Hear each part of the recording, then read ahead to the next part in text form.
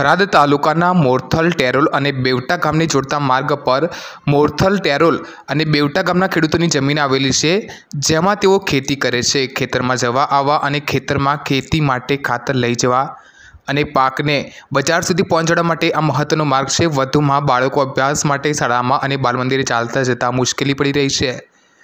આ માર્ગ કાચો અને બિસ્માર હોવાના કારણે ખેડૂતોને ભારે હાલાકીનો સામનો પણ કરવો પડી રહ્યો છે.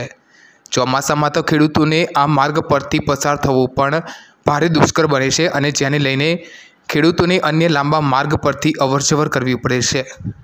આ અંગે ખેડૂતો દ્વારા અનેકવાર તંત્ર સમક્ષ રજૂઆતો કરી આ કાચા બિસ્માર માર્ગને પાકો ડામર રોડ બનાવવામાં માંગ કરવામાં આવે તેવી માંગ કરી છે. ખેડૂતો દ્વારા જાણવા મળ્યું હતું કે ચૂંટણી સમયે મત માંગવા આવતા ઉમેદવારો દરેક વખતે ડામર રોડ બનાવી આપવાના વચનો આપે છે.